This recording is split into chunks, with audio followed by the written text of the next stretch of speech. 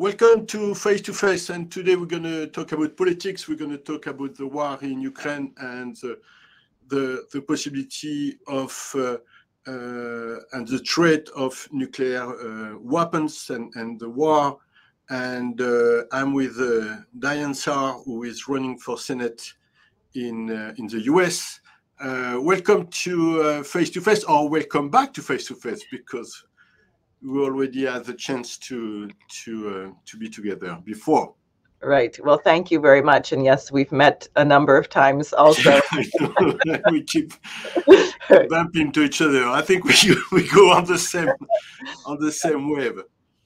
So um, I just wanted to to start with that uh, story where uh, I just published it. Like David uh, Swanson, who is a, a peace activist here in the U.S., published just an article. Then uh, we um, we published we republished in Pressenza uh, about the fact that he was invited and is invited to to talk about a rally in Washington D.C. on in February and organized by the Libertarian Party, and he got a lot of pushback from from the Democrat and, and the people who are uh, surprisingly uh, Oh wow! So I just wanted to to get your take on it because uh, you did some actions, and we have a couple of videos, and we're going to show where you you provoke Schumer, you provoke AOC on the same line, and just wanted to to get your sense for you. Well, you know, we have sort of a unisono uni party with a few mavericks at this point. They seem to be only Republican mavericks standing up against war. Uh, and that's a tiny minority. I'm always amazed. The U.S. Senate, I think, voted 98 to two. Yeah. Those sanctions on Russia uh, early on. So there's no opposition. And the rally in D.C., of course, is co-sponsored by the Libertarian Party and the Working, um, sorry, the People's Party, which is very interesting because if you were to ask the libertarians and the People's Party what are their platforms or solutions to the economic collapse or health care, a host of other issues, you would find they disagree very strongly on major issues. But they decided to hold this rally because they said if we have a nuclear war, and we're all annihilated. It doesn't matter if we agree or disagree. So, why don't we make sure we're alive first and then we can have the political debate on how to address the other crises. And unfortunately, it looks like um, the party honchos are not prepared to take such a principled position. Yeah, that's what little bit David was mentioning. It's it's on all the, the platforms, the proposition of the of this rally is agree with everything. So it was like, why why I will not go uh, and speak to this rally, but uh, it, uh, he got he got some pushback. But anyway, so um, do you want to? Um, we can see uh, the video about uh, um, when you you provoke Schumer, which is very short, and I think it's it's going to be. Uh, uh, and I will have to say, it was a very expensive breakfast, and they didn't even have eggs. And then when they took me out, they wouldn't give me a refund. So, yeah, uh, we can we can uh, we, we, can propose the refund. We can ask for the refund. Uh, let me play it. Okay.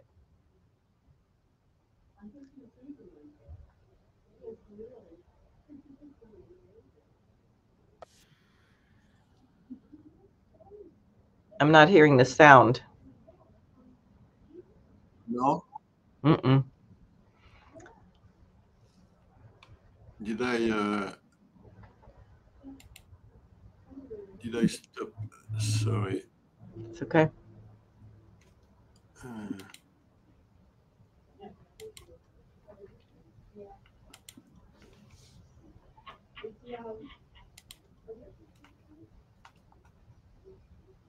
I don't see any option to.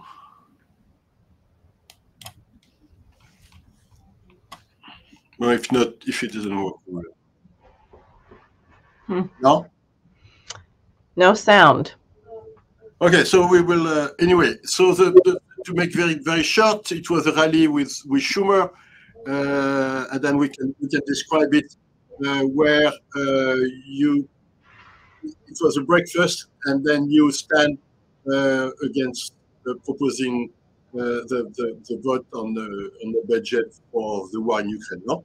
Yes, here they are coming to take me away.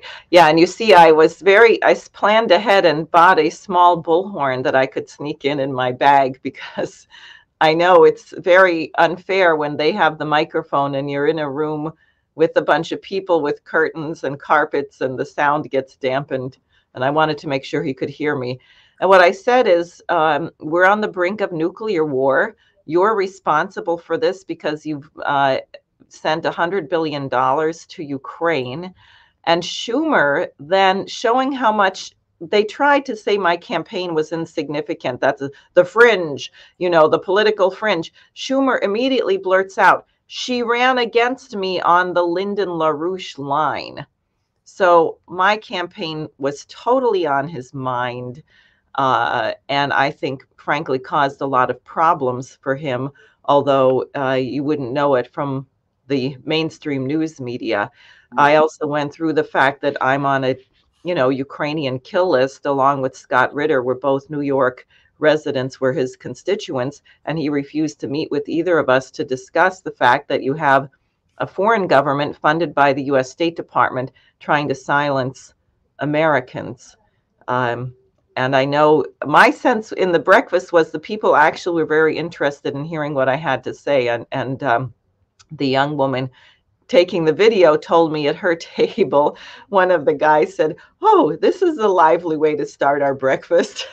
yeah. And I, and I was surprised because people applauded at the end. So I was like, wow, this is, that should be a debate. that should have been, yeah, should have been. Yeah, it should have been uh, very interesting. So, and, and so we have another one, but uh, I, am not uh, a little bit resistant to, to yeah. play it if we, the sound is not, uh, is not playing. Uh, where, but you can describe uh, with um, uh, because I can show a little bit the the, the video itself, where you you were um, you were at AOC's and you organized. Um, go ahead. A town hall meeting in the Bronx in Co-op City, and uh, this intervention was about 13 of us, you see his sign. That man is a professional tenor with a lovely voice. And he started singing Dona Nobis Pacem, Give Us Peace, holding up the sign, Stop Sending Weapons to Ukraine. There I am joining in. And uh, this is a very beautiful canon in three parts. So ultimately, uh, there were about 13 of us yeah. this. yeah, it was very interesting. Yeah. And uh, I have to say, it sounded pretty good. I was impressed when I listened to it later. Uh, you see this guy in that little mask in the front next to the lady with the black mask. He got really enraged. He said, We have to stop Putin from killing everyone, and you're wasting our time. We only have uh, one hour with the representative, and you're taking up five minutes. Um, it was uh, and this by the way went all over the news it was in the new york post the washington times um, it was covered in rt uh, i think it was very effective uh, many people were you see how angry he is there uh, very upset but, uh, um, but people get applaud again i mean it was they were at the end it's uh, it, it, it's getting people are supporting uh, the action itself? Well, I think it was a combination. I think some were applauding for the singing, and some were applauding because oh, they us yeah. up and took us all away. Um, but it did get much notice, and I think we need more like that. Singing is very powerful, yeah. and it's important to do things that are beautiful. Yeah, uh, because the world is so ugly, and people need something to inspire them and remind them that human beings are good. Yeah, no, no. I was I was surprised because I was like, what what's happening? and like, people were thinking, and I was like, wow, that's a way to that's a really interesting way to do it. So um, so just ask me. I want to know what's happening with AOC. I mean, I'm very surprised she doesn't stand. I mean, she's not supporting the the, the treaty to ban nuclear weapons. Uh, it's she's very complicated for us. Well, uh, maybe we should ask: Was it really such an upset that she got elected, and how did that all actually happen, as opposed to the cover story? Um, but we also saw, you know, last fall when two of my young staffers, Jose Vega and Kynan Thistlethwaite, intervened at her town hall meeting. And that went totally viral all over Twitter about the funding Nazis in Ukraine. We're on the brink of nuclear war. We have to stop this. Because I think many people, especially young people, are worried about nuclear war. They'd like to have a long life and a future. And immediately after that, AOC joined 29 other members of the Progressive Caucus and put out a letter, which was very mild, but it did say we should have negotiations. Could we just at least please, you can keep sending the weapons. We agree we should support Ukraine, but couldn't we try negotiating because this might get out of control? I mean, it was about that mild. And within about four hours, immediately uh, they were pulling back, saying, "Look, we support we support Ukraine, we support Ukraine, we support Ukraine, but we think there should be negotiations." Within 24 hours, they had rescinded the letter altogether, which indicates clearly there's a great deal of pressure on them. Uh, was it threats? Was it bribes? Um, what what exact form the pressure took, I don't know. But also, as someone put pointed out, AOC said oh, Jimmy Dore, I think, had shown a bunch of clips of her saying, um, I don't care if I'm only a one term one term congressman. I'm going to get this done. Well, clearly that's not her point of view anymore. If she would back down so easily within less than 24 hours on a matter as serious as stopping a nuclear war. Yeah, it's it's. Um, I don't know. I mean, I'm telling you, we we we try in other way for uh, for the treaty uh, on the nuclear weapons, and we cannot go anywhere. So um, you know, they tell us immediately what uh, what is the deal there. Um, you, um, I just signed a, a letter um, to the Pope, and I think I just want you to to comment a little bit on on, on that uh, proposition uh, who seems to be uh, very important, very interesting, and uh, really the, the Pope has been supporting the treaty against nuclear weapons. He has been many times in, in, the front line for against the war. And um, so, what, what the letter is is for the people to to know about the Pope, or it's for uh, really asking the Pope to do more? Well, it's in a way to encourage him and to make sure that the Vatican is aware that there are many people who really want peace, who support their offer for negotiations. And I'll tell you, in the last days since the announcement of the tanks going into Ukraine, uh, we've added a lot of signers. There are a lot more VIPs, and we got 500 signers yesterday of just people um, because they're seeing how dangerous this is. And some of them have been rather explicit, saying, I don't like the Catholic Church, I don't like this Pope, but I don't see any way out of it. It's really that's a, beside the point. The other thing, which I wasn't so well aware of, I knew that there had been a potential during World War II that the Vatican was involved in negotiations between Japan and the OSS to end that war. It could have been ended without nuclear bombs. Um, so they were playing a role there, but other people had other things in mind, namely dropping the bombs. I didn't realize um, that the Vatican had also played an important role during the Cuban Missiles crisis, and also during World War One when they there was a Christmas truce, which is described as just kind of happening when some German soldiers started singing Christmas carols or something uh, in 1914. That's not really the case. So the Vatican has actually a rich history of helping warring parties to end their conflict. And at this point, you don't really see many offers of major institutions. The Catholic Church has about a billion members. They have this very important history. They have obviously high level diplomatic contacts. They've already been involved in many of the prisoner exchanges between Russia and Ukraine.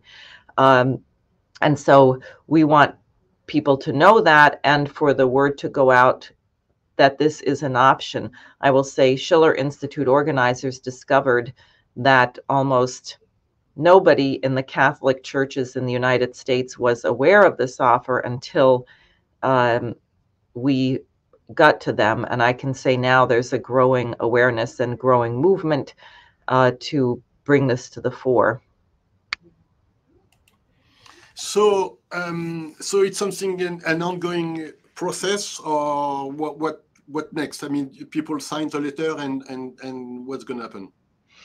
Well, um, they sign it, and I think uh, actually I know the Vatican is aware of it. I don't want to say more, but there's been an indication that they're aware of this, uh, and that's very important.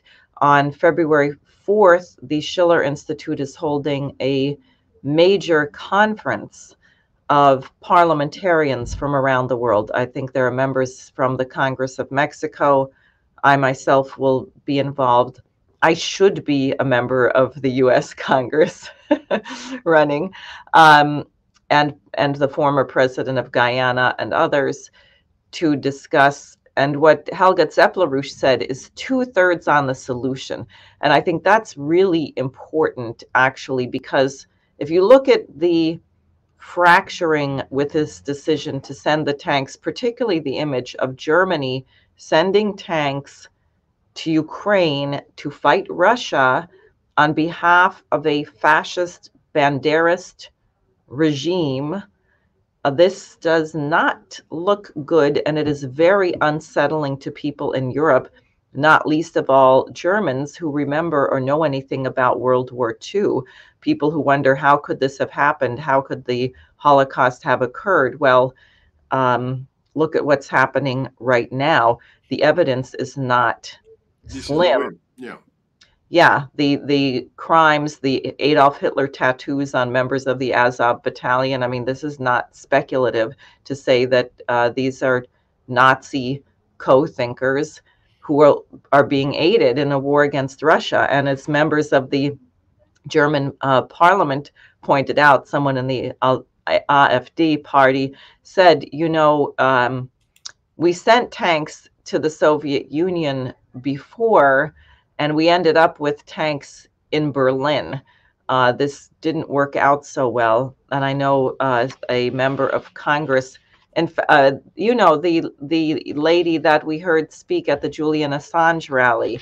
She was very outspoken in the German Parliament against this policy. Sevim Dagdelen, her name is.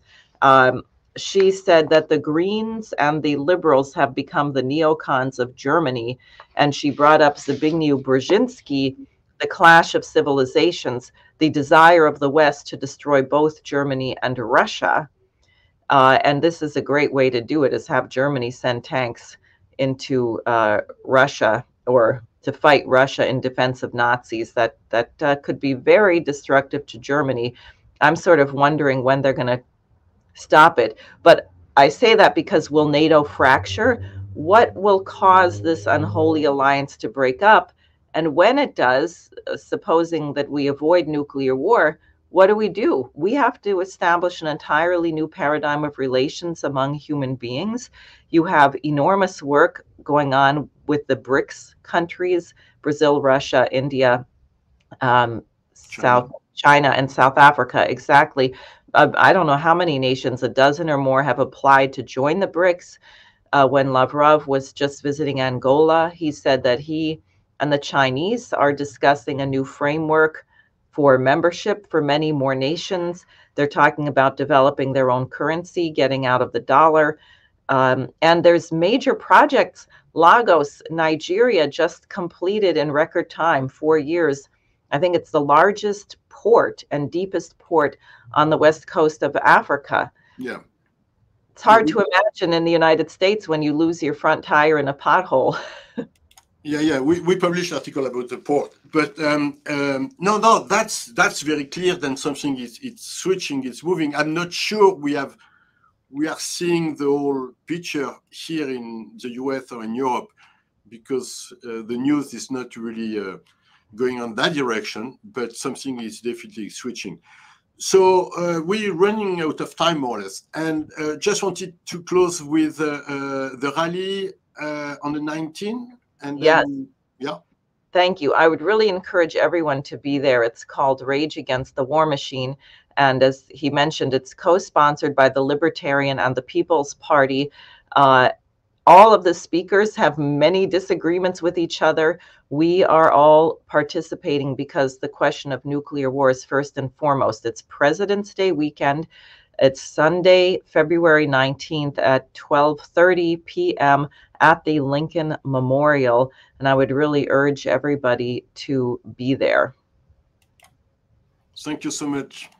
I think we're going to close on that Great. note, um, that was face to face, and keep please watching uh, your news on pressenza.com.